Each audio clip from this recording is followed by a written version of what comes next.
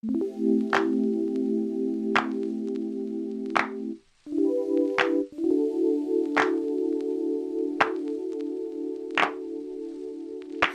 life wasn't perfect, yeah, I know that now.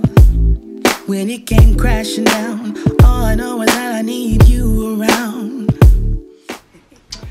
Yo guys, thanks once again for tuning into the channel. So this is Kixplore where I review everything sneakers and travel related. And in today's episode, we will be talking about this sneaker. So obviously if you saw, uh, if you read the actual title of the, um, the video, it is about the Air Max 720. I don't know if you guys can see that. It says 720 there somewhere, yep. And uh, this is the really cool uh, box. I've been meaning to do um, a video for this for a while now because these sneakers actually came out I think March 26th. Uh, they came out to be around $260 retail and I'm only doing them now because I've actually found uh, time to actually do it. If you guys didn't know, I've been uh, moving house so like things are kind of everywhere as you can see in the background and stuff so yeah bear with me guys. Anyway let's get into this review. And guys if you do learn something from this video please subscribe to the channel and uh, you know please give me that big thumbs up because all that kind of information that I get from you guys helps me to better create content. So first of all I want to say thank you to the guys at Cosmonauts for this really cool sneaker. I mean sneaker sorry this really cool t-shirt.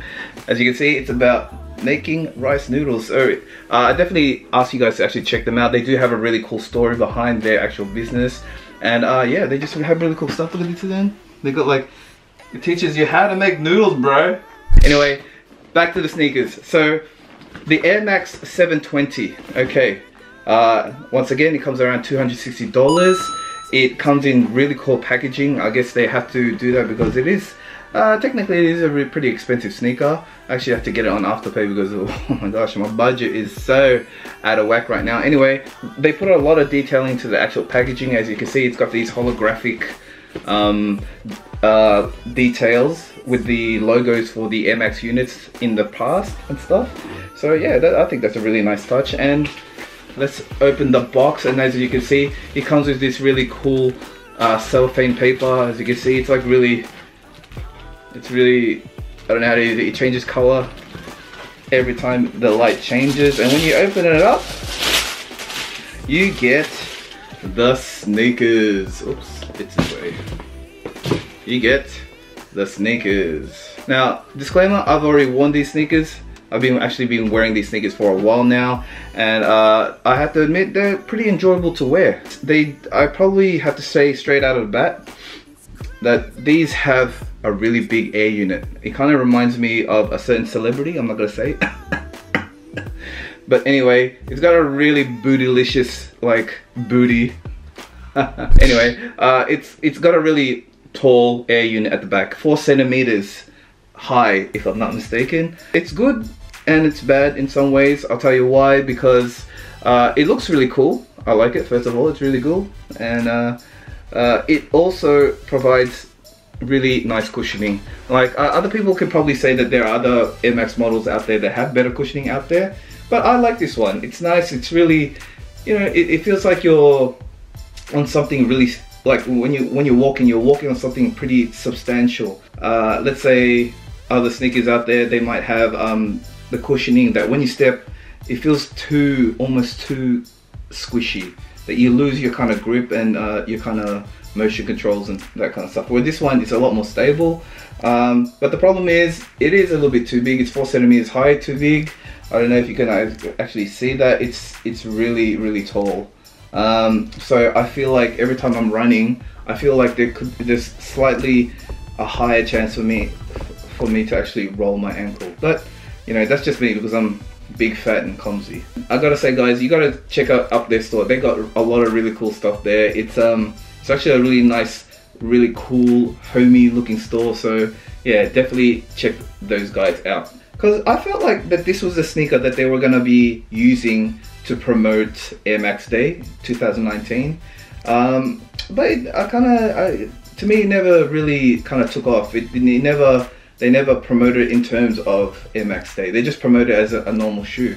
Uh, it's okay, I don't mind because I was just expecting it because compared to last year's uh, Max 270 release, uh, on Max Day. It was kind of like hand in hand kind of thing, and it like they really promoted like the Max 270. Whereas this year they kind of probably stepped back and just like let the sneaker do the talking instead of the actual Air Max Day. Well, in Melbourne anyway. I don't know. They probably did. A, I think they did like a better job in promoting the Air Max 720 on Air Max Day in other cities, but uh, in Melbourne it was a, a, little bit more subtle. So ever since Tinker Hatfield um, designed the first Air, Air Max concept, um, Nike has really developed the actual Air unit, and you can tell because it's kind of it's always like grown bigger, bigger, bigger throughout the years, and uh, as you can see to this day, this is the biggest one to date. It's four centimeters high. It basically covers almost the whole uh, like outsole or the bottom of the sneaker. You can see there because it, it actually goes almost I think it literally goes almost all the, all the way around the, the bottom of the sneaker. So under this area is, uh, I think they have composite foam there. Whereas uh, over here, it's like, you can feel it, it's like an airbag, like literally, it's like a tire. In terms of durability, I have been using this for a while and I'm a big dude guy, so I normally, back in the day when I used to get air bubble sneakers, they'd always pop, like after couple of months, maybe three or four months. But this one I've been wearing for uh, not not three or four months, but this feels a lot more durable. So if you are like worried about like popping this actual airbag unit, you, you need some substantial force. You need to actually really, really try to uh, damage it and puncture it for you to actually make a, you know, a hole in it and to actually permanently damage it in a bad way that you can't wear the sneakers anymore. So the initial uh, concept, I think the Nike designers uh, tried to engineer this sneaker to feel more like um, like you're walking on clouds in a way. And uh, I could probably tell you, yeah, they're pretty close. Uh, you know, it does because it's such a big airbag unit that you, when you're walking, it does feel like, oh yeah, it's like, ooh, like I'm walking on something not on the floor kind of thing. Yeah, I reckon they definitely hit their mark and uh, it, it's really, it, it is a comfortable sneaker. Um, I would just probably say it's a little bit big. It's big. It's a big sneaker. Like you do feel taller wearing these. So if you're a short guy like me, uh, it does give you a little bit of that more confidence when you're walking because you're like, hey, like looking down at people, hey, what's up? Yeah, I'm just wearing Air Max sneakers. Hey, what's up? but uh, yeah, you know, so it, it does have that feeling there of uh, being cloud-like.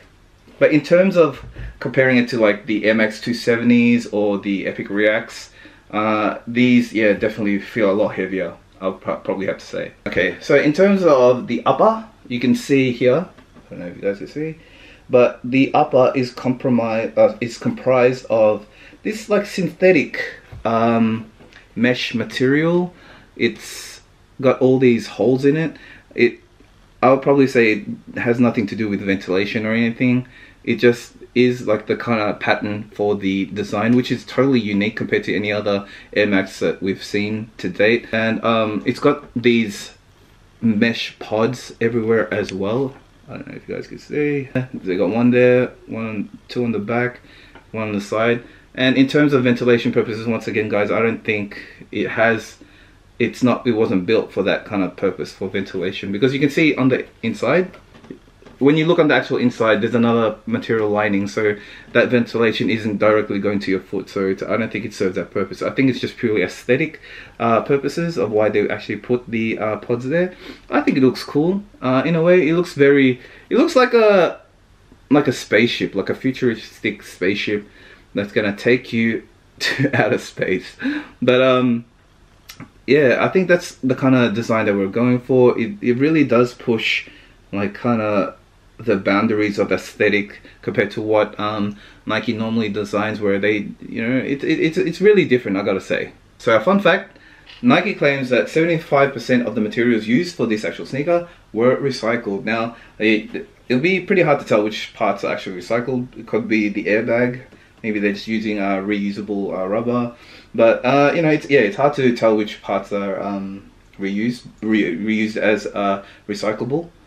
Oh sorry it's hard to tell which stuff is recyclable uh, materials but I am a fan of that. I do like it when uh, companies do take that sustainability route because it, because I did do design and that's one of the things that we were supposed to be like including into our, our product concepts and stuff. And uh, I really do think that uh, you know, when we design something, we should be thinking about the end product, not just the start product. So like the whole uh, product life cycle, not just when you make it kind of thing. And uh, yeah, I'm a big fan of that. I think uh, more brands should be doing that, and uh, yeah, we should be supporting that kind of uh, initiative.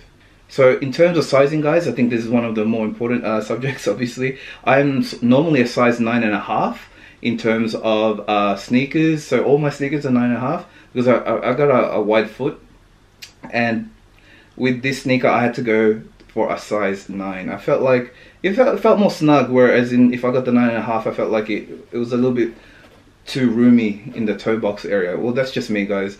Um, I would suggest that you go down half a size if you got a wide foot, because I think they they are built to be a little bit more narrow than normal. But once again, guys, if you're not sure, please go into the nearest the like Seeker store or Nike store where they do where they are selling these uh, uh, silhouettes because yeah they're, they're making so many like right now there are so many different colors there's so many different quantities all throughout the world. So I, I think it's really easy to actually go into, into store and just try one to see if it fits like true to size for you or like if you need to go down size like what I did. So my overall thoughts of this sneaker are pretty positive. I would probably say they're a really cool sneaker.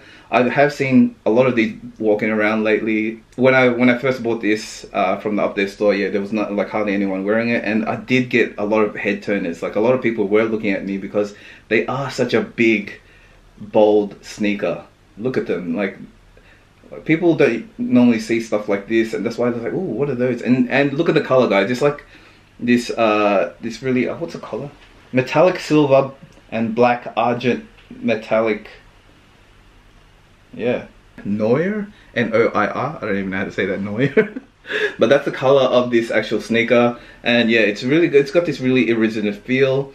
Uh, it changes color as you like depending on what light it goes through. So uh, yeah it's a this is definitely a head turner. So if you like that kind of stuff where it's like new fresh these are definitely uh, a cop for you guys, especially because it is pretty comfortable, I would have to say, and it's really stable, guys. It almost feels like I probably suggest, uh, I could probably say it feels similar to the Air Monarchs, because they are pretty big, and uh, they got that, you know, really, how do I say, it's like a safe, secure feel every time you actually wear them. So with this review, I hope you guys actually learned something, and I hope you got a, a better insight of uh, what I think and uh, what a person might think when they actually wear this. Because these are yeah I would I would say yeah I like I bought this with my own money and it's like yeah I'm, I'm pretty happy with it. So yeah I would really really like to hear your guys thoughts on this sneaker. Do you like it? Do you not like it? What are the things that you do like about it if you do like it? And if you have problems with it, what problems did you have? I really, really want to know.